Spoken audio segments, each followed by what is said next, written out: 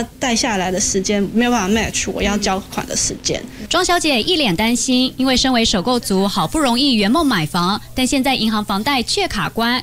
今年房市买气热络，但许多民众近期都遇到一个困境，就是想向银行借款买房，但因为排队的人数实在太多，不是被拒绝，就是他们等待时间从原本的一到两个礼拜变成了一个月，甚至得到的利率也从原本平均二点一多变成超过二点五。多家银行现出限贷令，因为银行法七十二之二限制商业银行最多只能使用手中百分之三十的资金。许多银行面对放款量逼近水位，只能拒绝受理或是拉高利率。像是庄小姐在月初咨询的七家银行，就有一半拒绝。最后好不容易向一间成功申请贷款三百七十二万，原本评估利率可以有百分之二点一八五，但月底银行却表示按量暴增，需要拉高到百分之二点六八九。我觉得应该也有差个一两百以上。期限是到八月底，嗯，那其实我算起来还是有二十几天，快快一个月。但是我今天去跟他讲，他又说他们报案件暴增，所以就我有一点心慌。就怕赶不上交屋期限，得支付建商平均百分之十到百分之十五的违约金。但看看现在，几乎一半以上的公股银行都要排队，包括第一银行、台湾银行、华南银行、彰化银行以及合作金库等等。对此，专家表示，民众可以改考虑不受银行法七十二之二限制的专业银行，包括土地银行、农渔会或是邮局。因为民营银行呢，在这段期间呢，非常多的首购客户都被公股银行抢走了哈，所以呢，他们或多或少可能那还会有一些呃。额度或空间，而且农会它其实整体的一个资金是算相当丰沛的，所以反而在这个时候，我们会去鼓励大家多往农会咨询。专家建议，农会利率跟公股行库差不多，买房民众如果时间吃紧的话，可以改向农会贷款，才不会赔上违约金。东森新闻刘伟成、李仲祥台北报道。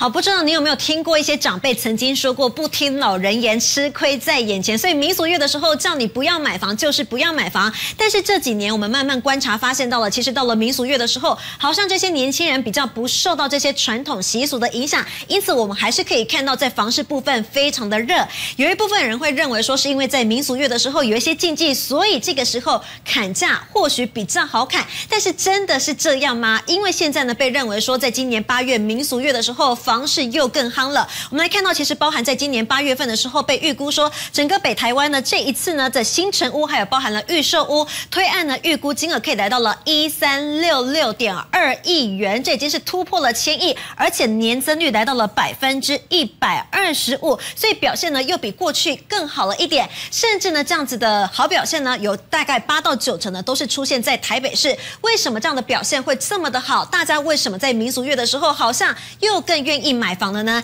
来看一看，原来是有这几个原因。其实从过去讲起来呢，二零二零年到二零二一年的时候，受到了疫情影响，所以出现了史上最低的利率。还记得吗？当时利率呢，大约只有百分之一点三而已，是非常的低。所以不只是台湾在疯买房，全世界的人通通都在疯买房，全世界都在买了。你如果在台湾，你考量因为民俗月我不买的话，你可能马上就被抛在脑后。因此呢，当时被形容说是全年都好，而且全世界都喜欢。买房，后来到了二零二二年的上半年，因为疫情并疫株出现的关系，所以有一些建案呢是延后推案。那么后来到了下半年才推案的时候，就算遇上了民俗月，可是有一些民众说我已经好想买房哦，所以这时候推出之后，不管你是民俗月，我照样买了。那么到了去年的时候，因为新青安在八月的时候上路，那么受到平均地权条例的影响，虽然呢打压到了一点预售屋，可是有一些人呢跑去买了成屋，因此在去年整个呢民俗月的时候，交易量也是蛮。还不错了。后来到了今年二零二四年上半半年的时候，房市非常的热，甚至现在有一些人开始考量说，年底十一月的时候，美国大选前，哎，这经济板块有没有可能再次受到影响？所以我不等到九二八档期，我赶快现在如果市场条件不错的话，赶快就下手。这时候你可能会想问说，民俗月到底有没有差呢？你看看过去这些年，二零二零一直到二零二三，就算受到了民俗月影响，可是这些民众、投资客或者是包含自助。住客他们一样都还是买房，所以民俗月到底有没有差？现在更多人分析是该买就应该要买。以上是这节最新。暑假许多人喜欢搭飞机出游，但谁说搭飞机就是要出国？这一趟从台北出发，只要一小时五分钟就能跟着记者飞到台东。博朗大道金黄色稻田，鹿野高台壮观热气球美景，是我们熟悉的台东观光胜地。但地震加上台风，交通受阻，部分游客又嫌国旅太贵，让台东上半年平均住不到五成。住房率八月份比七月份好，主要的原因是因为观光署有发行每房补助一千块的这样子一个优惠，再加上神券这个部分加上之后呢，我们预估可以增加三到四成的住房率。因此，台东县府在八月推出类消费券的省钱券，面额从一千、五百、三百、一百到五十。除了星级饭店、餐厅、伴手礼、汽机车出租和加油有优惠，现在飞一趟台东，七加九最优惠，只要不到四千。从中山到台东的来回机票，然后再加住宿，最低一个人只要三九九九元起。对，那再配合我们这次三六五的优惠，每房最多可以再折到一千块。以一个晚上双人房原价一万三千九百七十元的四星级温泉酒店计算，原本加上来回机票四千三百九十二元，两个人三天两夜就要三万六千多，现在只要八千不到，还能再扣掉优惠补助券的五百元，便宜了将近三万块。相比垦丁星级饭店住一晚就要五千到一万以上，让多数游客觉得这波优惠超有吸引力。政府可以开放更多优惠，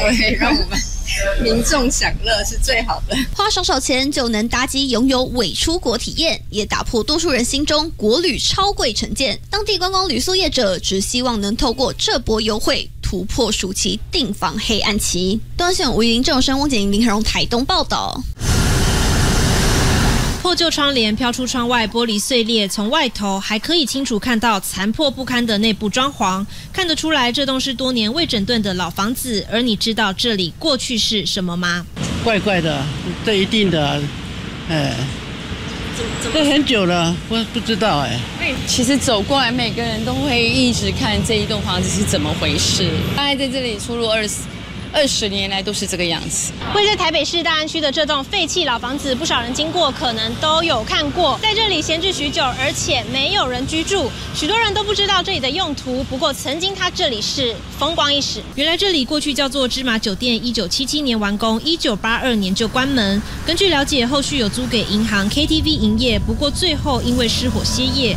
看看当年的照片，芝麻酒店就是这栋白色的大楼，地上十四楼，地下两层，从外头就可以看到内部荒废，墙壁斑驳，部分窗户也打开，已经没在运作。风光嘛，就是，呃，就跟国宾饭店啊、中央酒店啊、哦华泰饭店很雷同啊。询问老一辈的民众，都些许记得当年的热闹风采，更透露其实这里一度要都更，却以失败收场。不过民众就好奇，这地段属于北市金华区，不仅在一零一附近，旁边还是捷运站出口，交通相当便利。房仲也表示，这里目前市价落在一平两百到两百五十万元，想都更、想改建，怎么会一度卡关？要都更或者要重建，都是遇到这些所有权人，你没办法找齐，或者找到一定数量，就变得是让这个呃建筑物继续闲置在那里。金华区都更案破局，就是因为产权相当复杂。台北市都发局则指出，都更案在一百一十年经市府驳回后，就没有再提出申请。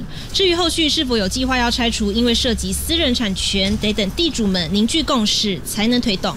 东森讯学玉柱温友莲在台北市采访报道。